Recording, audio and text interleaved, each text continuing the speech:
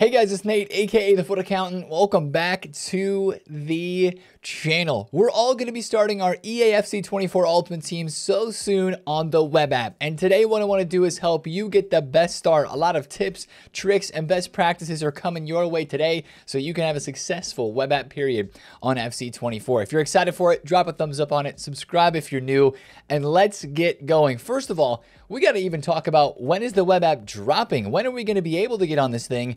And that date has been leaked. It is the 20th of September, which is not a surprise. That was kind of the date that we thought it was going to be in the first place. So watch out for this next Wednesday as the first opportunity to get on the web app. And of course, this is the web app, still FIFA 23 right now, probably going to be shut down in the coming days so that they can refresh it, re-update it so that it is EAFC 24 on this web app. Now, how are you going to be able to get on this? If you have web app access for FIFA 23, you're in. Good job. But it's also a good practice to know that if you have the web app access to try to sign in and also sign into your EA account so that you can get your backup codes and maybe change your authentication way that you verify it's your account because there's been problems before with EA sending out confirmation emails and people waiting for hours because their systems are backlogged as everyone's trying to sign on the web app. So just some things you can do beforehand to make sure you're ready to go. Now, all we have to do is sign in. And now that we're signing in, just like we will be at the start of EAFC 24, we log into the web app for the very first time. Just imagine it with me, right? This is still the FIFA 23 web app, of course. But just imagine we're logging in for the first time.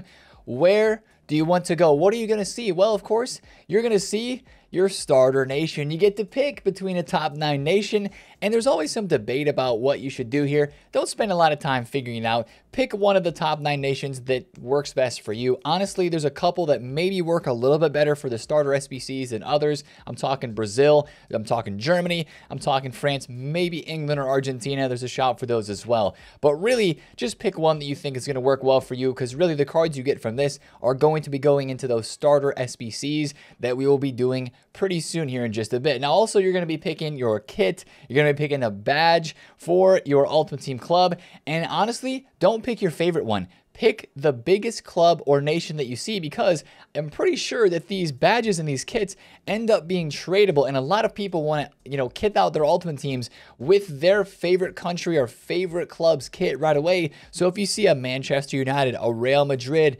or maybe a Tottenham Hotspur kit, you should probably pick that one because it might actually get you a couple extra coins on the market in those first early hours when you get on the web app because people will be buying those for their ultimate teams because they want to make sure they got all their kits, badges, and stuff equipped from the start. So that's a small tip that you maybe not know that's probably pretty massive. Now, when you get into the web app for the first time, after you do that, you're going to go have your squad. You'll pick a lone player. That really doesn't matter too much in my opinion. Just pick somebody who's good and who's meta.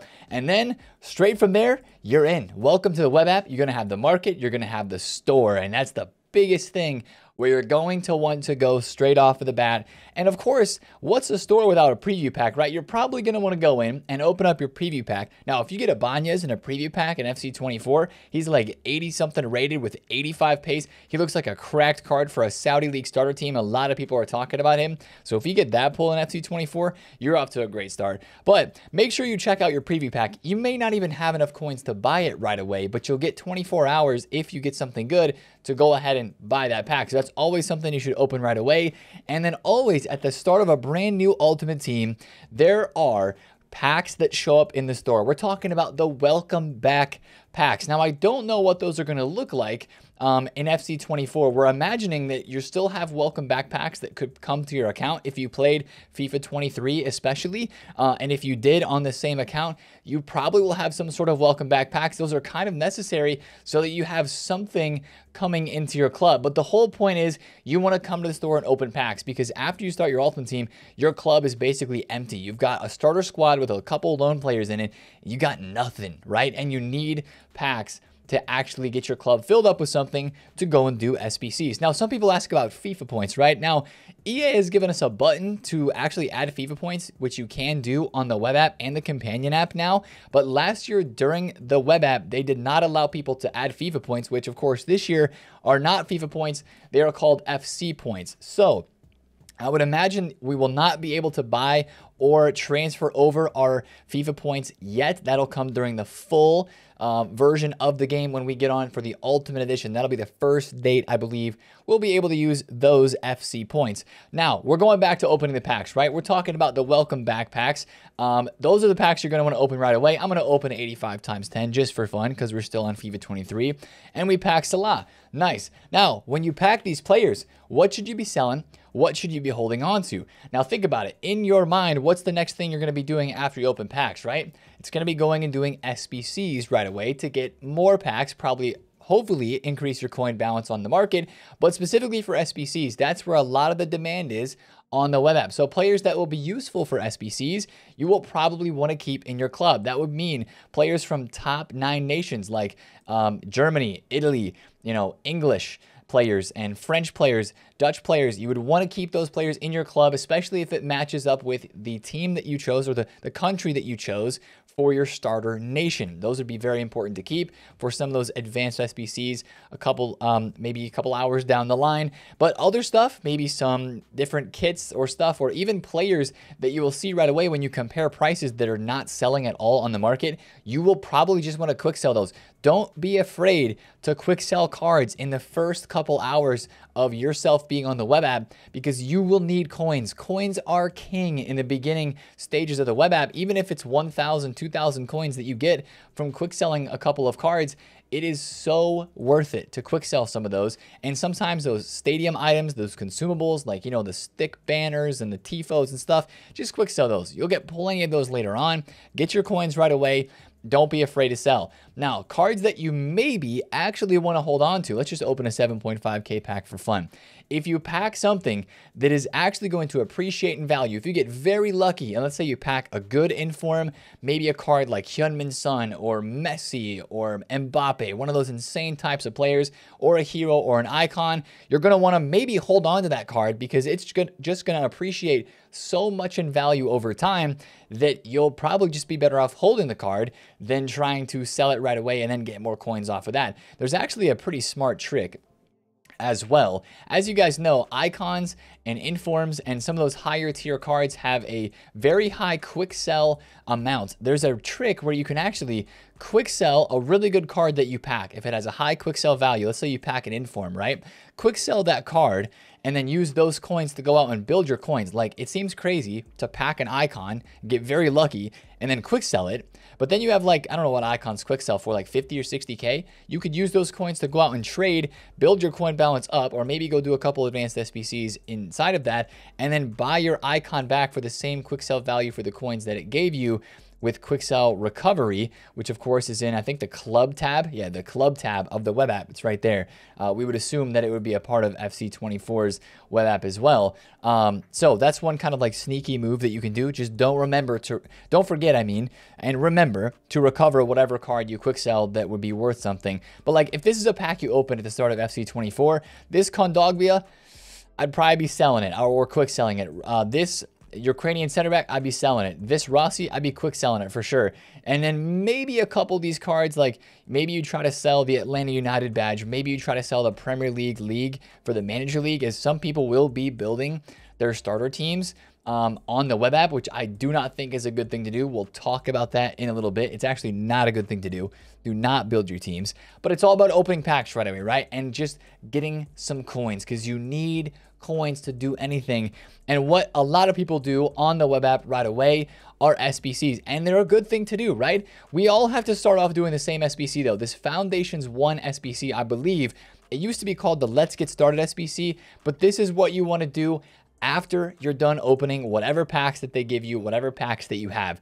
Go to SBCs and get that starter SBC done. Now, usually it just requires some bronze and silver cards. And actually, this is one of the best places to trade on the market with bronze cards from some of those top nations. I remember last year specifically trading with bronze, Brazilian, and I think it was German and Brazilian like right mids because they were over a thousand coins on those first couple hours on the web app. They were so good to trade with uh, because those were the SBCs that everybody was doing, and those were the types of players that you needed to complete those SBCs. So watch for bronze and silver cards in the first couple of hours.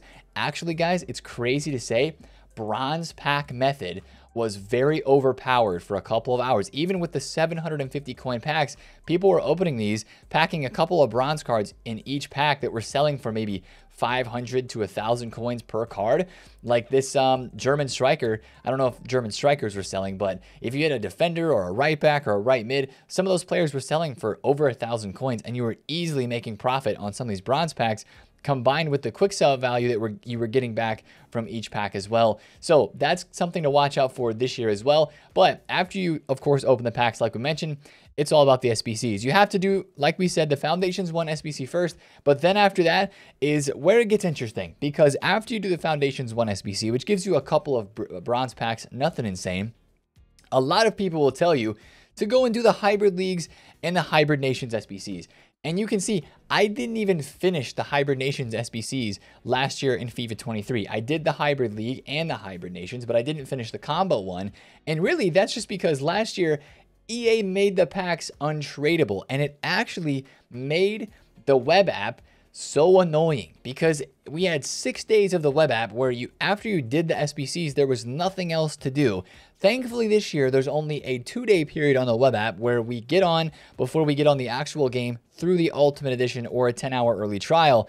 But that was so annoying uh, that these were untradeable because those were always SBCs that we did to go and get coins, right? You would pack tradable cards from them and then you go to the market and you would sell them and you would make coins. That's why those were great. This year and last year as well, if these are untradeable again, which I'm imagining they will be, you definitely don't have to do them. They're not worth doing if you don't have a lot of coins and it takes too much sweat and effort to do that. You can just go straight to the market and actually start trading with some of those players that we just mentioned bronze, silver, and gold cards. There will be people doing the advanced SBCs just because people love packs and people want an opportunity to pack something good. But what I would tell you to do is take a look at your coin balance. If you have a lot of coins or if you have a couple of players in the club, then maybe you start to do one or two of those just for fun, but just be careful. In the early stages, people will be opening all their welcome backpacks and cards will be so cheap on the market. I'm talking gold cards like last year I remember informed Kevin De Bruyne was literally about 90, I think he was like 60 or 70,000 coins, and he went to 95K within a couple of hours. It was the informed De Bruyne and like two weeks later he was four to 500,000 coins just because the rarity, man. It, yeah, it was like the 90 rated, the first one that dropped, maybe it was 92. Yeah, 92 KDB. This card was so cheap. Obviously, it's the end game now, so he's, you know, this card price. But those cards were so cheap early on because nobody had a lot of coins, but people were packing cards from those packs that were given out. So there's a lot of supply, but not a lot of demand. So that's kind of what I would do, guys. I would go to the store right away. I would, then I would go complete the Foundations 1 SBC, which is learning the basics.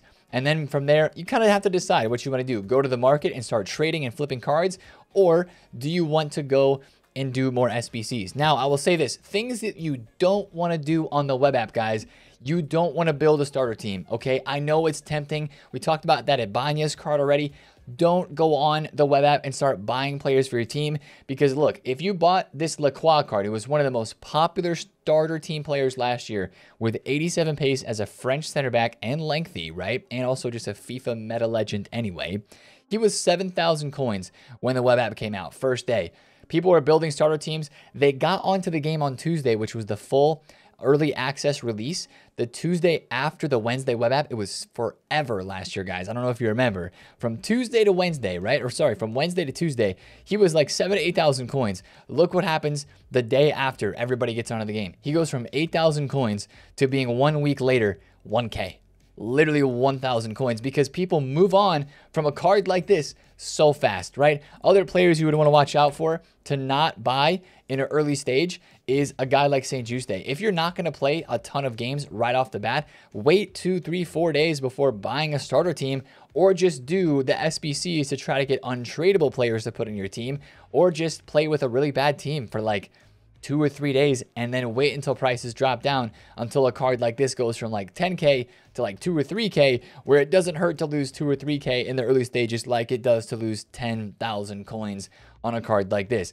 That is one of the worst things you can do during this period is build a starter team on a cheap budget because those cards are all inflated because that is what everybody is doing. And you also don't want to waste all your coins on SBCs. You got to be frugal. You got to be careful because coins are king, especially earlier on when the market's going to be appreciating so much on a lot of those higher tier players. Remember Erling Haaland's gold card last year going from like 30,000 coins day one? Yeah, he was like 30 to 40,000 coins. He went all the way to 400,000 coins two weeks later, right? Those are the sort of price appreciation. I mean, that's about as drastic as it gets. But you're going to see some crazy price rises because people are getting on the game and they're getting coins and they want to buy those really insane players. So that's some of the things I would tell you not to do. Waste your coins and don't build a team. Things you should do is check objectives, especially this year as we have the opportunity for evolutions, getting into the objective section and checking out even what things you can do without playing a game. Sometimes like listing cards or doing a number of SBCs will get you some of those like foundation objectives where you can get a few coins, get a few packs here or there. That's something to look into right away to get yourself going and get the ball rolling and more cards in your club. And then also prepare for when the full game drops. Maybe you're like, okay, I'm going to do this evolution right away. Um, and so I'm going to start building my team, or not even building your team, but just kind of formatting how you're going to approach the game when you're actually able to get on to the full game on uh, the Ultimate Edition or the full edition release date so that you can be prepared for success when you start getting onto the game and actually playing the game. So that's everything for the web app guys right there. Um, that's all that I can come up with. I think there's a lot of really good tips in there. I think if you do things in that order, you're going to start off the web app in a really, really good way. Now, of course, follow a lot of the videos we're going to be having upcoming after this, talking about trading, best ways to make coins on the web app, and of course, helping you guys have big success at the start of EAFC 24. If you enjoyed this video today, drop a thumbs up on it, comment down below if you have any questions, and of course, subscribe if you are new. It's been Nate the FUT Accountant. See you guys in a video tomorrow. Peace out.